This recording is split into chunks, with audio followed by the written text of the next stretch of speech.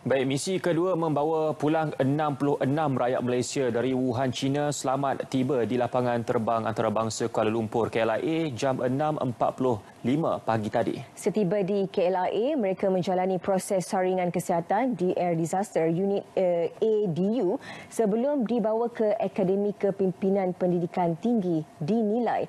Kesemua yang dibawa pulang menjalani proses kuarantin selama dua minggu.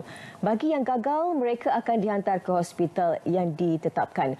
Menurut agensi pengurusan bencana negara NADMA, seramai 46 orang adalah warga tempatan, manakala 20 lagi bukan warga negara yang menetap di sana.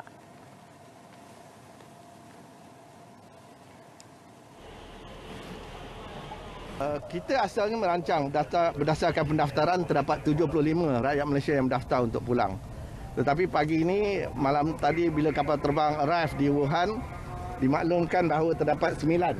Eh, sembilan uh, rakyat Malaysia yang mulanya berdaftar tetapi tidak dapat kembali kerana ada seorang yang ada masalah kesihatan ada yang membuat keputusan di saat akhir tidak berhasrat untuk pulang atas sebab-sebab tertentu. Jadi kita setakat ini kita tidak merancang untuk melaksanakan misi yang ketiga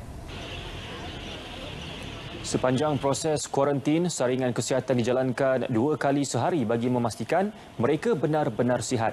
Natma berjaya menyelaras misi kedua ini melalui penglibatan pelbagai agensi termasuk Kementerian Luar, Kementerian Kesihatan, Jabatan Bawah Badan Penyelamat, Polis Diraja Malaysia, Angkatan Pertahanan Awam, Jabatan Imigresen dan AKEP.